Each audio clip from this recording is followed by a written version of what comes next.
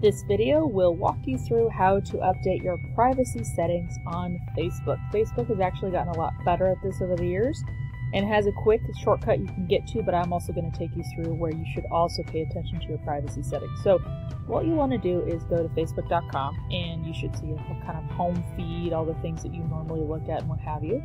Um, you'll want to go to this question mark and you'll click on that and you'll see a privacy checkup link. Now you can click on anything like privacy account securities and everything like that. You can absolutely click there. This privacy checkup is a really friendly way, though, to kind of get you started and just take care of some more urgent issues you might want to update. So, privacy checkup, what it's going to give you is four options, and you can and should click through all four of these. So, I'm just going to click on these uh, initial ones. I'm actually not going to walk you through every single detail because then you'll see all my details, and I like privacy, as should you.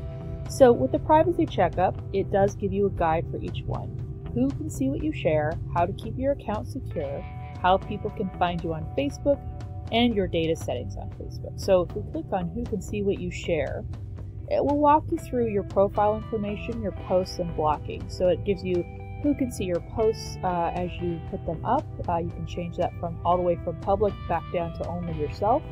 It'll also look at your profile information as far as your phone numbers, email addresses, definitely letting you dis- letting you decide who out in Facebook can see them. Uh, I actually made some updates myself with this where I was like, oh, I didn't realize that everybody can see this or not everybody can see this. So it's a great thing to walk through there. You also can click on how to keep your account secure. Your password private?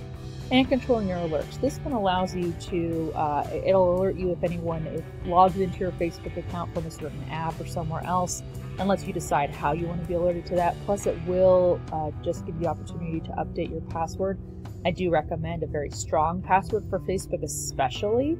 Um, and if you need to, use a password manager so that you can log into it or, or find it again if it's really complex. Phrases are awesome when you use password phrases and then just various use various uh, symbols or numbers throughout the password, those are great. All right. Then you can also uh, change how people can find you on Facebook. So, how can people find you to give you friend requests? Who can give you friend requests? Can they find you by phone number or email? This one's an important one too. Do you want Google, like search engines like Google, to be able to display your profile to people who might be looking for your name? You can set that to yes or no. So that's an excellent place to review. And lastly, your data settings on Facebook. Uh, this will walk you through apps and websites. I'll actually hit continue on this one. Uh, what it'll do is it'll say, look, here are the apps where you may have used Facebook to sign in, um, and, and or maybe you did a quiz or um, anything like that. Do you want these apps to continue to have access to your Facebook or continue to use them through Facebook? And you can actually click remove.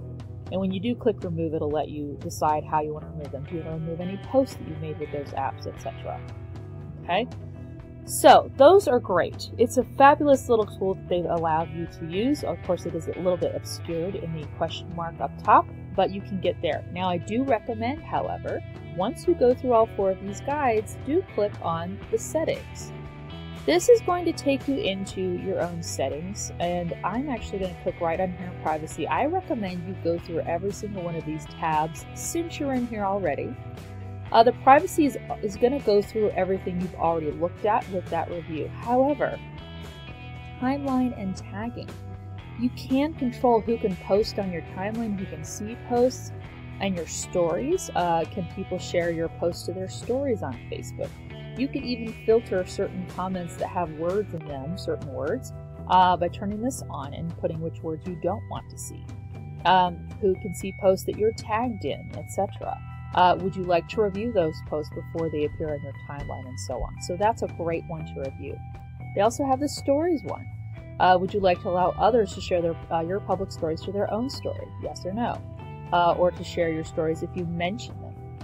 Location, that's a great one, uh, is that you can turn your location history on or off and view your location history. This is a big one, especially for mobile uh, device users, because uh, Facebook will absolutely track where you are. It's why you can see certain ads for certain things based on where you're standing. Blocking is amazing. Uh, you can block users, you can block messages from users, you can block certain apps if you're tired of seeing them because your one friend just sends tons of app invites or, or alerts from it. Events, maybe you are tired of getting events from a certain person, uh, but don't want to unfriend them, you can block those.